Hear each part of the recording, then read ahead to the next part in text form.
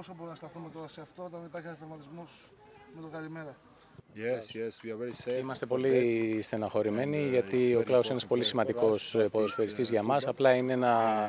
είναι... ο τραυματισμός είναι μέσα στο ποδόσφαιρο, είναι κομμάτι του ποδοσφαίρου και εμείς θα προσπαθήσουμε να συνεχίσουμε και χωρίς τον Κλάους να δούμε πόσο θα, θα λείψει και να χωρίσουμε. Τι περίμενε να δει και τι τελικά είδε στην ομάδα του; Δεν περίμενα να δω μια φρέσκια ομάδα γιατί και χθες και γενικότερα όλο το δεκαήμερο που έχουμε ξεκινήσει έχουμε δουλέψει πολύ δυνατά.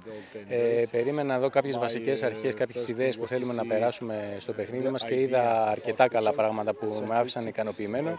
Ε, σίγουρα έχουμε πολλά πράγματα να δουλέψουμε και να προσπαθήσουμε στην πορεία να γίνουμε καλύτεροι. Πιστεύει θα είναι η ομάδα έτοιμη για είναι μια ιδιαίτερη περίπτωση η φετινή χρονιά και το παιχνίδι που είναι νωρί. Εμεί αναγκαστικά, επειδή το πρωτάθλημα τελείωσε αργά, πρέπει να ξεκινήσουμε και εμεί αργά.